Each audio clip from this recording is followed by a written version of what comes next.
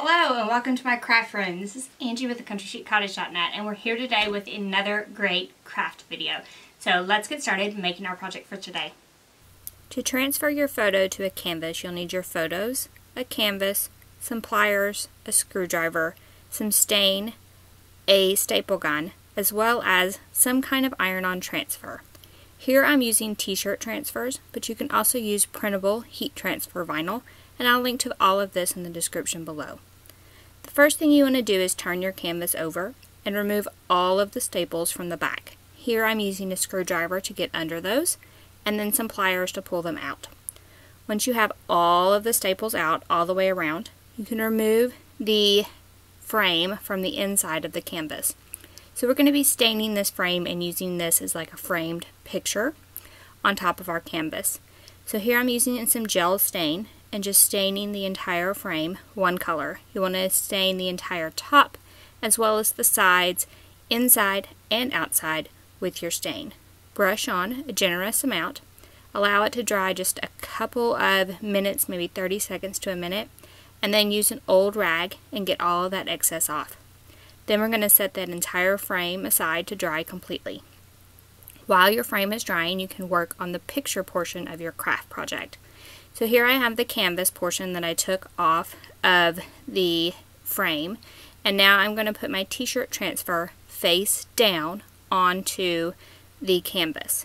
Now I printed these mirrored. That's important when working with any type of iron-on is that you mirror your design so that, that it's the right way once we're done with this project. And then you want to follow all instructions that come with the product you're using. Mine said to use an iron and to go in both directions. You could use printable HTV and use an EasyPress or something like that. I, I'll, I also have a video on using printable HTV and I'll leave that in the description below. But iron-on transfers definitely work for this project. And if you'll notice, I am transferring to the cream side of my canvas because I wanted a slightly more rustic look. You could also do the same project on the white side. And then, once you're finished ironing and have followed all the directions, you can start peeling back your backing and you'll notice that your photo is staying on the canvas. And you just want to slowly peel that back, making sure it's stuck and adhered to your canvas. And once you've peeled it back, your canvas portion is ready for your frame. If the frame is dry, you can start putting that on. So what I like to do is center the canvas on my picture where I want it, and then start adding staples to the back. Now you want to make sure with each staple that your print is where you want it. Don't worry about the excess yet. We'll get that in just a minute. We need to add a few staples first. What I like to do first is add staples on like basically all four corners in the center.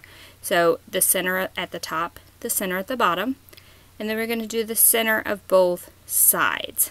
And we're pulling this tight as we're stapling to make sure that the canvas is tight against the frame. And then we're also going to add one staple in each corner at this point before we cut away that excess canvas. So we're also going to use a craft knife to cut away the excess canvas off of the sides.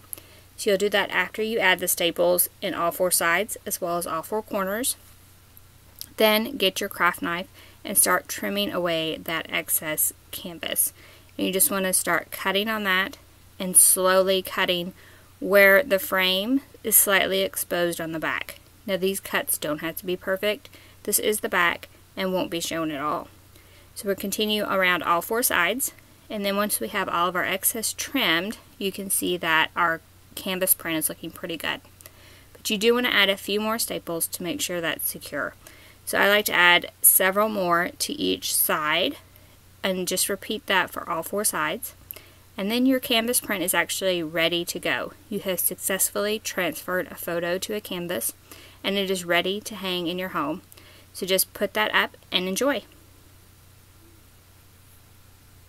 So I hope you enjoyed that and I hope you will make the project that you saw today. If you loved this video, be sure to give it a thumbs up. You'll also want to head over on over to our YouTube channel as we have tons of creative videos that you might love using a Cricut machine and other crafty videos as well.